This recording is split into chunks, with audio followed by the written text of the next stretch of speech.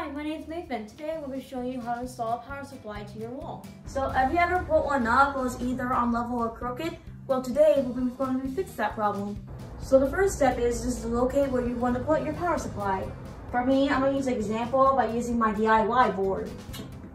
So I decided to mark down six inches on mine. And then at that, you make sure to draw a line there. Next, I'm gonna use a level. I'm using a torpedo level for this one. And make sure it gets on that in the middle line, right there. Bingo. So now we're gonna add to level this up. And once it reaches the middle, you got your, um, yeah, you got it?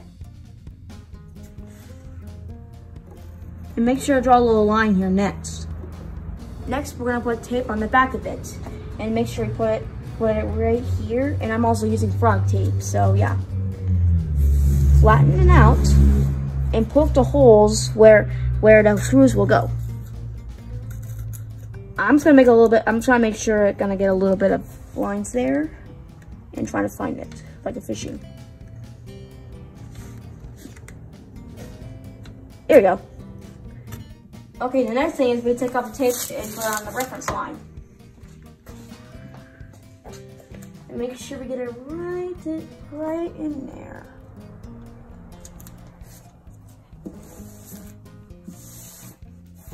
Now we're gonna put the screws in the poked holes. And the next one.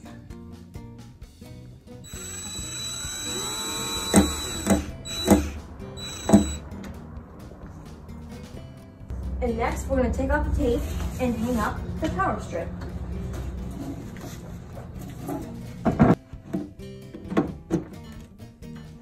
And make sure you pull it, uh, pull it this way. It's easy and it looks cool. Well, I hope this video helps you. Until next time, bye.